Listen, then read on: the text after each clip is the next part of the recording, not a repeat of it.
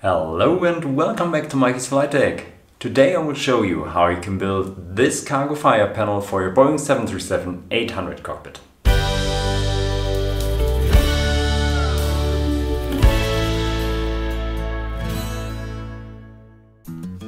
For the beginning you will need the bottom, middle and top plate, as well as two 8 position rotary switches and a push button.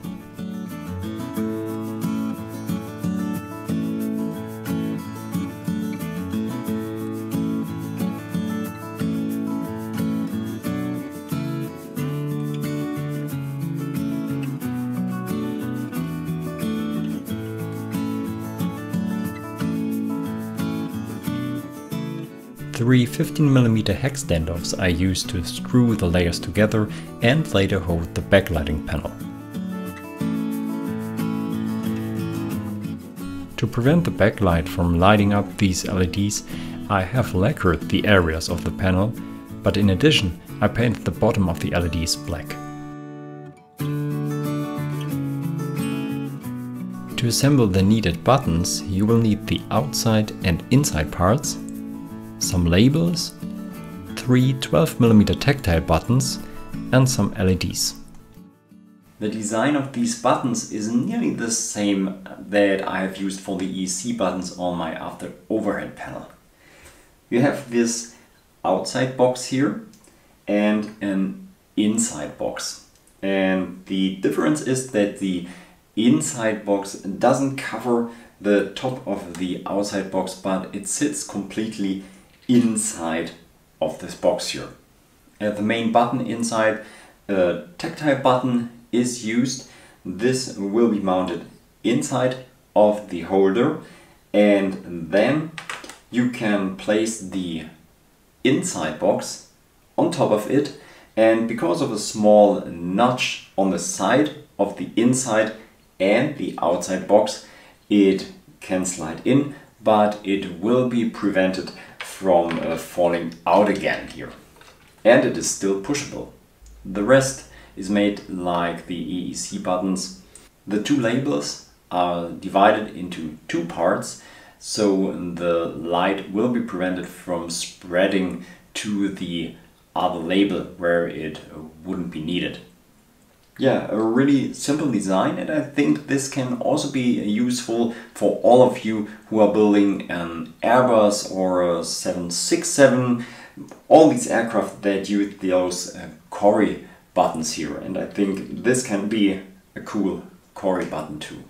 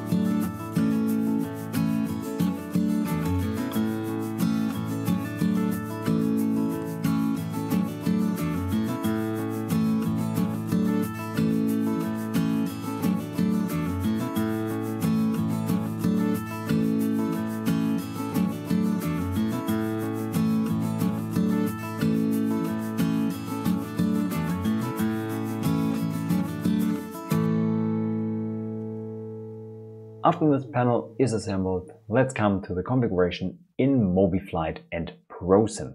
Let's come to the configuration in MobiFlight first and let's have a look to the devices I have added to my Arduino number L.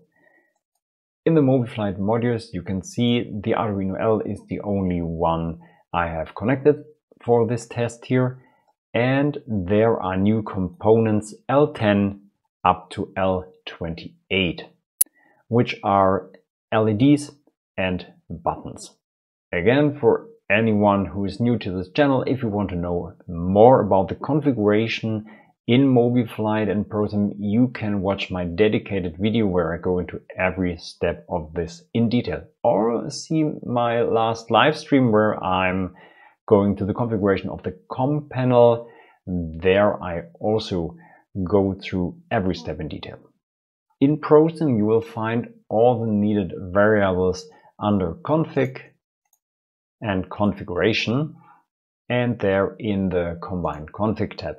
And maybe you have guessed this already, you will find them in the fire category. There we have the switches and indicators that we can use. Under switches, you can identify all the values you need by the word cargo here. Yeah, you can see this. The word cargo is in front of all the values you could need. And the same under indicators. Here again, look out for cargo and you will find all the values that you need. Except of one and there I already come to something that is different in this test now from all the others you have seen from me here. Let's start with the test first and I think then you will understand the problem I had. I have prepared already running in the background and now click run here in MobiFlight. So now we are already able to test some functions here. The detector fault, for example, I can click here in ProSim displays and there you can see the corresponding light is lighting up. Let's test the switches here. Forward to A, both and B. This is working like in the software and the aft switch A, both and B is working. Now we come here to the test button.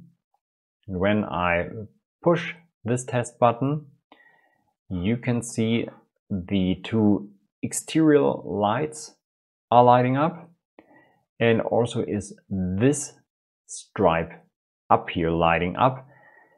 And in the software there isn't the discharge um, annunciator not lighting up but here uh, on my panel I think the illumination here of this discharge annunciator is correct because let's have a look here to ProSim, to the system, and there in the fire category we can also find all the lights. And when I now again click to the test button, you can see the cargo fire discharge light, a yellow light, is on. And I think this must be this uh, annunciator down here, but it isn't lighting up in the display software. The two exterior lights are on like they are in the software and down here on the hardware. And now here comes something that confused me. The fire bell, a green light is on. I thought the fire bell could be this master caution or I think you hit the fire warning um, button, but why is it green? And so I, the idea came in my mind that this could be this green stripe here. And so I have assigned the value to this button here. Maybe this is right, maybe not.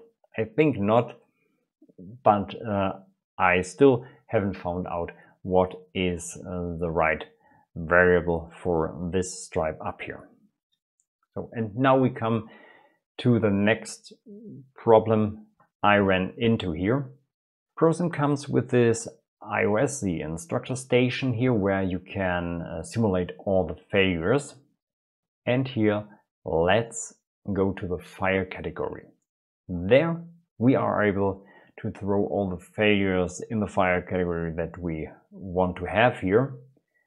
And when we now start the fire forward cargo failure and say fail now, then the failure is thrown, but nothing is happening.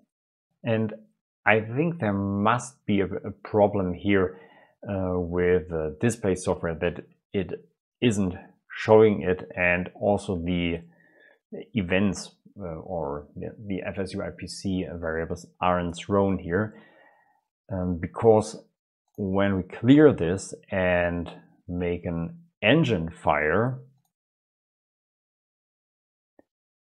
then you can see everything uh, is going up like it should. And so I think this isn't a general problem, but maybe it is a problem with the actual version here I have or in combination with a Prepar3D I'm running version 4.5 at the moment. I don't know. And so I can't show you a full test here, but a little bit of functionality can be shown here. Let's assume we throw again a cargo forward failure. Then this forward red light should be lighting up. We can see this in MobiFlight in a moment. And now I would push this button here to arm it, which I'm doing. You can see the light is going on and so is the light here in the display software. And now there would be the moment where we discharge the uh, bottle in the cargo room. And so we press the discharge button here and wait a moment. And now the discharge light is lighting up, which it isn't in the software but when we have a look at the system software here, then you can see the cargo fire discharge light should be lighted up, which it is. And so I think this is right at this moment. And I also have tested this in the PMDG version of the 737. There, the behavior is the same. And so I think this hardware is working correctly, but there is a problem in the software until now. So let's clear this failure here and go back to MobiFlight so that you can see one time these uh, warning annunciators lighting up. In my case, these are the variables L13 and L19. So let's make a test here. There you can see the forward warning light is working and under L19 we have the aft warning light this is working too so the hardware I think here in this case isn't a problem this is working and so even if it is not a full test in this video I think this panel can be assigned as accomplished. So this was the build and configuration process of this panel. As I said, when I know how to test this panel completely, then I will show this maybe in one of the upcoming live streams. For those of you who have watched my previous panel making videos, these were all well-known components for you, just some LEDs and some buttons a little bit of reusing uh, a 3D printed design, but this is all you need to build this panel.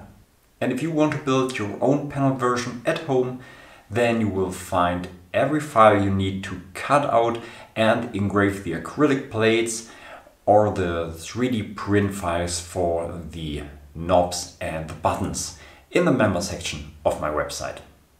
Three last holes are open in the pedestal, including the main fire panel. The transponder panel is already designed and the construction process will start in short. So stay tuned for this video. And if you don't want to miss this upcoming episode, then subscribe to my channel to stay informed about any upcoming new video from me. So I hope we'll see us soon back on the flight deck.